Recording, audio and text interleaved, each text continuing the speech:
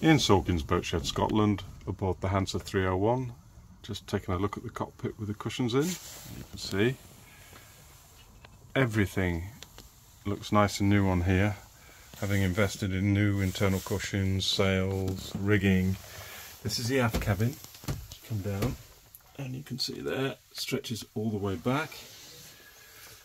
Again, new upholstery. This boat is absolutely gleaming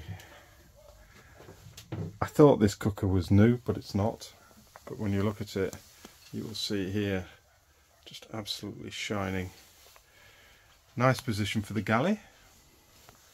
And if we swing round the starboard side, we can see the new cushions and upholstery in the saloon. And I quite like the way that the table is offset. So you can sit here, but also have free access should you need it. And then we have the nav station here and I've got photographs of the chart plotter and the electrics panel and everything that goes with it. And this just lifts here and you have a chart table. Very well secured.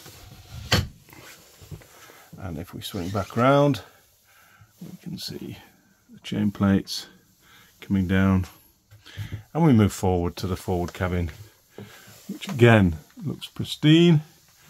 And the new upholstery wardrobes either side.